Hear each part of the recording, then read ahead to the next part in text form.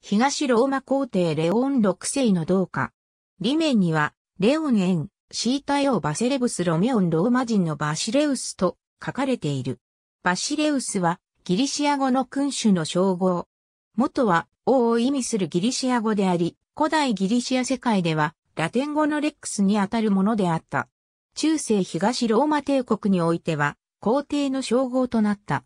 中世から現代ギリシア語ではバッシレフス。未経ネ文明時代、王はワナカと呼ばれ、バシレウスは在地豪族的な有力者を指していた。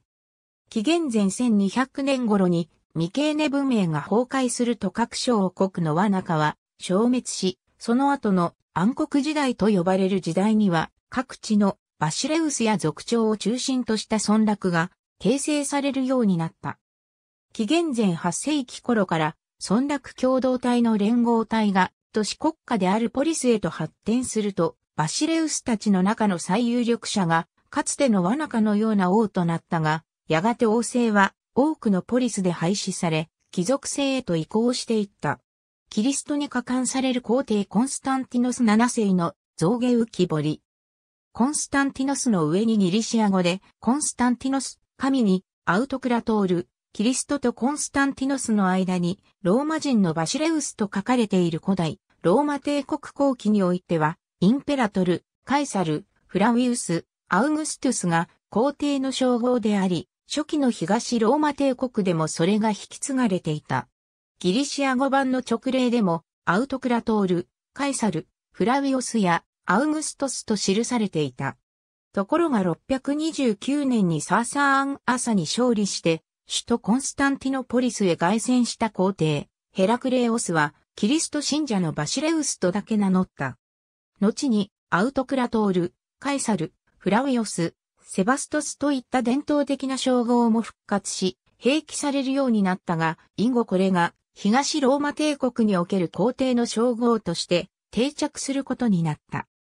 当時、ゲルマン民族などの侵入によってラテン語使用地域の大半はローマ帝国の支配領域から離れてしまっており、新設された官位などもギリシア語の名称を使用するようになっていたことなどから、このことは帝国の公用語のギリシア語か、ローマ帝国のギリシア化を象徴するものとされているが、具体的になぜこの時期にヘラクレオスが急に称号を変えたのかは定かではない。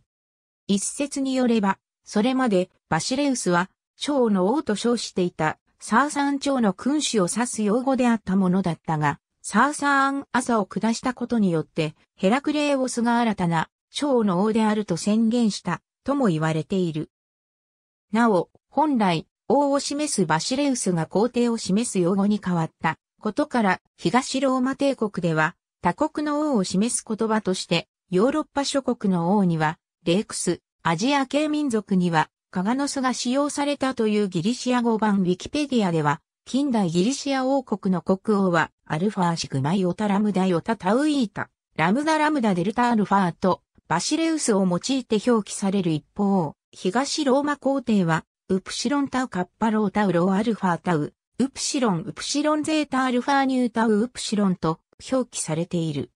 また、日本の天皇は、ウプシロンタウカッパロータウローアルファタウイータ、アルファパイオメガニューアルファであり、やはりアウトクラトールが使われている。ありがとうございます。